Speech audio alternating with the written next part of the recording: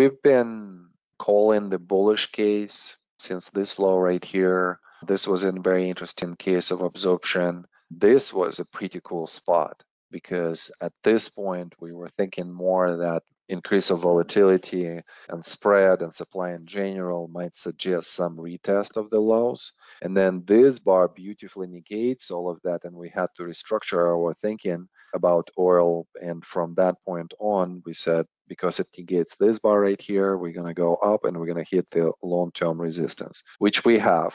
Now, here at the top of it, the thought was that the approach, even though I liked it, but still it's not an extremely aggressive approach. And then as we start seeing supply here on this bar, which is this volume bar, so slight increase of the supply. Compression shows more supply. This bar shows more supply. Attempt to rally, immediate negation. Attempt to rally on still high supply level.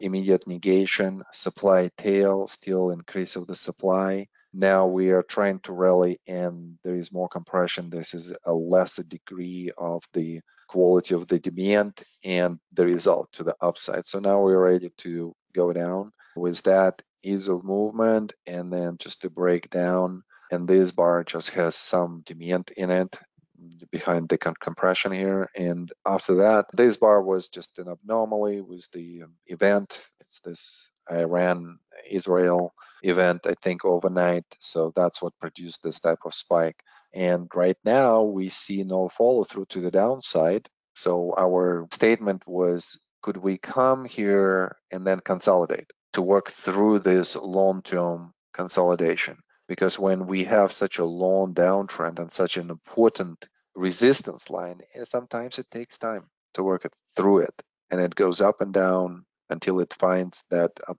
and then advances. Okay, and